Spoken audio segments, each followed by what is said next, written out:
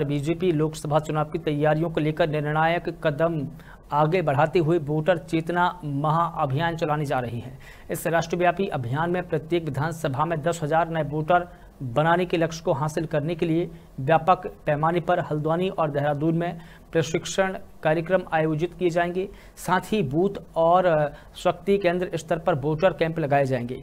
इस अभियान को लेकर के ज़िले स्तर पर तीन से पाँच लोगों की टीम बनाई जाएगी और विधानसभा स्तर पर तीन सदस्यीय टीम इस पूरे कार्यक्रम को संचालित करेगी। 21 अगस्त को गढ़वाल संभाग की बैठक का देहरादून में आयोजन किया जाएगा। इस बैठक में सभी जिलों और विधानसभा के लिए तय समितियाँ शामिल होंगी। इस अभियान के पहले चरण में 21 से 26 अगस्त तक टीमें तैयार होंगी। उसके बाद 26 से 31 अगस्त तक शक्ति केंद्रों और बूथ स्तर पर नवीन मतदाता अभियान के लिए कैंप बनाकर पार्टी की तरफ़ से तय बीएलए एक और दो का समन्वय सरकारी बीएलओ के साथ समन्वय बनाते हुए इस अभियान को चलाया जाएगा। हल्द्वानी से दीपक अधिकारी की रिपोर्ट।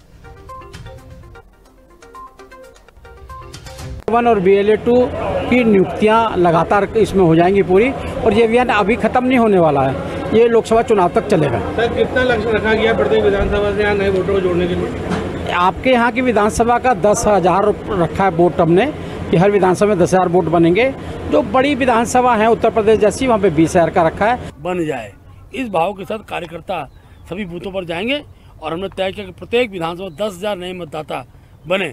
कई बार मतदाता में त्रुटियाँ होती हैं, पते की त्रुटि होती है।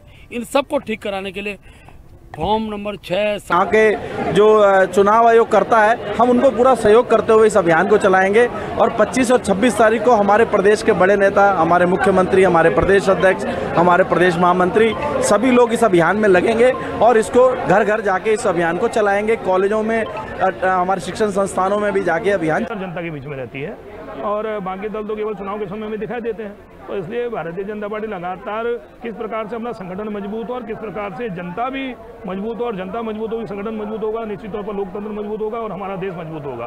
तो इसी को लेकर लगातार भारतीय जनता पार्टी विभिन्न कार्यक्रम तय करते रहती है और लगातार हम जनता के बीच में जाते रहते हैं।